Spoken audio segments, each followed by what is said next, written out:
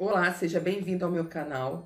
Hoje eu vou conversar com você sobre uma das competências cobradas no Enem, que é a competência número 1. O que, que ela envolve? Demonstrar o domínio da norma culta da língua portuguesa. Então vamos nos aprofundar sobre esse assunto para que você esteja realmente preparado para a redação do Enem, ok? Preste atenção aos detalhes que irei destacar aqui para você. Bem, todos já sabem que a competência número 1 um vai envolver aspectos da gramática da língua, da norma culta da língua portuguesa. Então envolve você saber o que? Escrever corretamente um texto.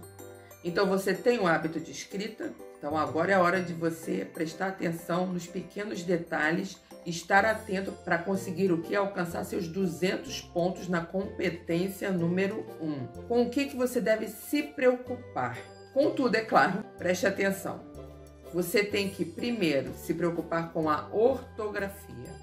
Saber escrever corretamente as palavras, saber quando usar um J, um G, S, C cedilha, SS. Então, agora qual é o próximo ponto? É a questão da acentuação, se você sabe acentuar adequadamente, pontuação, tem que estudar quando você vai colocar adequadamente a vírgula em uma frase.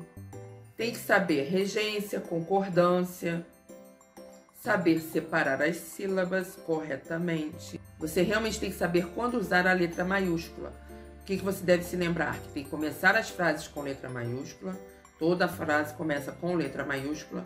Nomes próprios têm letra maiúscula. Também deve ter cuidado com coloquialismos.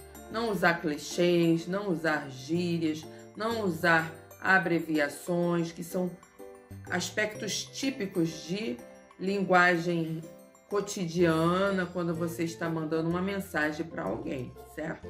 Evitar os excessos de rasuras e, para finalizar, ter cuidado com os estrangeirismos, fazer a marcação correta do estrangeirismo. Fazendo o quê? Ou sublinhando a palavra ou colocando a palavra entre aspas. Como, por exemplo, a palavra fake news. É inglês, não é português. Então, essa palavra que é de origem estrangeira, você tem que destacar. Bem, fiz um resuminho sobre quais seriam as características da competência número 1. Um, para garantir os 200 pontos na redação do Enem. Deixa eu aproveitar esse momento para falar com você sobre as minhas aulas de redação online personalizadas.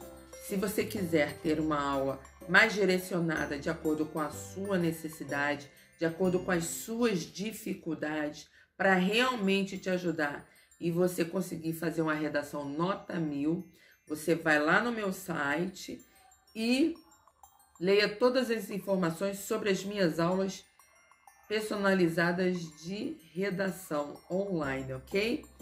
Só para você saber um pouquinho. Obrigada por assistir ao vídeo até aqui.